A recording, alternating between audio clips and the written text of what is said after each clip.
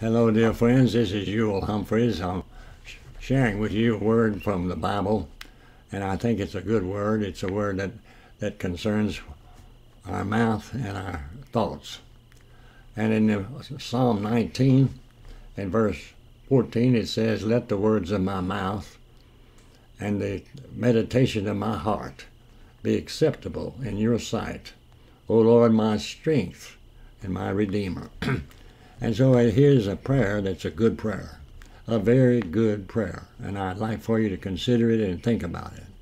And it is, let the words of my mouth and the meditation of my heart, that is the thoughts that you have in your mind, or let your the, the things that you think on and the things that you talk about. Let the meditation of my heart be acceptable in your sight, O Lord, my strength and my Redeemer.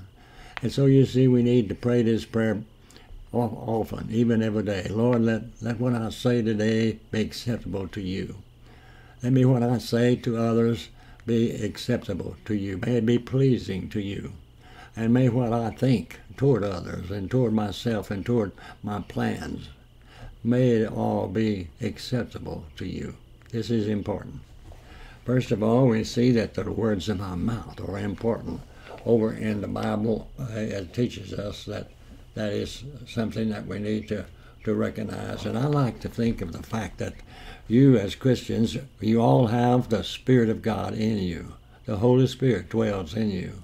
He will never leave you. He is there forever. Hallelujah. and it says in Luke 12, verse 12, the Holy Spirit will teach you in the same hour what you should say.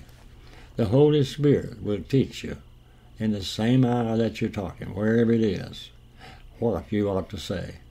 And that's important to depend on the Spirit of God in you. I'm depending on Him right now to give me a word for you, a word in due season, a word that somebody is weary and you just want to give it up. But I'd say to you, don't give up. Keep looking up. Don't give up. Just pray and know that God is there. God is with you. He'll never leave you nor forsake you. He's going to stand by you and bring you through the deep waters. You will not drown. You're going over. You're not going under. God is your help and hope. Believe in Him and believe and know that He's there and He's promised never to leave you. He's there and He says, I will be with you unto the very end.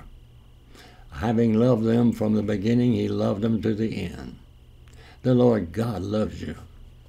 Hold on to that truth. Stand on that rock and know that the hand of God is there to lead you in your life. And He loves you, and whatever is happening has a purpose. And that purpose eventually is for your good. Hold on. Everything is going to work out. And the Holy Spirit will teach you in the same hour what you ought to say. And praise God. Jesus Christ has shed his blood. He went to Calvary and he paid the price for your sins, every one of them. And he paid the price for all our sins, every one of them that believe in him. And when you believe in him, your sins are all washed away in the blood of Calvary. Praise the Lord God. This is something we need to recognize and know. And the meditation of our heart, our thoughts, he that that uh, sets his mind on Christ shall have perfect peace. Amen. And uh, he whose mind is stayed on Christ has perfect peace. So try to keep your mind on the things the Lord has said.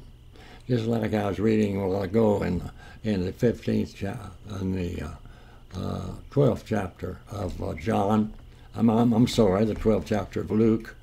And he said in that in that chapter, he said, uh, "I have told you that I am in the Father, and the Father is in me." Now, the the Christ that loves you, the Christ that dwells in you, the Christ that's praying for you, that Christ, your Redeemer, that Christ, he lives in the Father, and the Father lives in him. For he and the Father are one. And so it's important for you to know that. And he said, The words that I speak to you are from the Father. They're not just of me and the flesh, they come from the Father. And so it is that the words that I speak to you, dear friend, are not only on my, my side, I'm, I'm hoping and praying, but from they're coming from the Lord. I'm praying they'll come from God. You Christians, please pray that the Lord will use me and give me a mouth and wisdom, and that my gainsayers can neither gainsay nor resist. A mouth that speaks truth. And so we need to see that. We need to know that. Keep your heart right before God. Stay humble. Stay humble. Put down pride. De- deny yourself. Take up your cross and follow Jesus every day. And so that's important, and God will bless it. Over in Isaiah in the 40th chapter, it says, uh, Wait upon the Lord. They that wait upon the Lord shall renew their strength. Now, he says, Do this because you're my strength and my Redeemer. You get strength from the Lord when you turn your life over to Him. When you can't understand why things are going the way they are, just turn it over to Him as best you can and say, Lord, I don't understand it, but I believe it. I believe it's happening, and I believe that there's a purpose in it. I believe you're going to work it out. I believe you're going to bring me through. I believe you're going to overcome, and I will overcome through you. I believe I'm going to win because I'm in you, and you never lose eventually. So God, help, help me, and help these who are listening today to look up, take hold of the Lord, and know that all is well. All is well indeed. Amen. God bless you. God help you to know that you shall mount up with the wings like the eagle. You're going to fly one day over your problems. Right now, you may be standing in the storm. Stand still and wait on the Lord, and He will bring you out, and you will come through. Praise ye the Lord. May the words of my mouth and the meditation of my heart, my thoughts, be acceptable in your sight. O Lord, my strength and my Redeemer. Hallelujah. God bless you. If you need to pray a, a brief prayer, pray a prayer like this and mean it from your heart as best you can. That you're praying for salvation, if you need to. Say, Dear God, please forgive me. I believe in Jesus. I believe He died for me. I believe He paid the price on Calvary. I believe He rose again. Believe He's coming back. Come in my heart, Lord Jesus, and help me live for you. Amen. Now find you a good church and worship God with his people. And remember, dear friends, you that are Christians and love the Lord, I want you to know God loves you and I love you. Amen.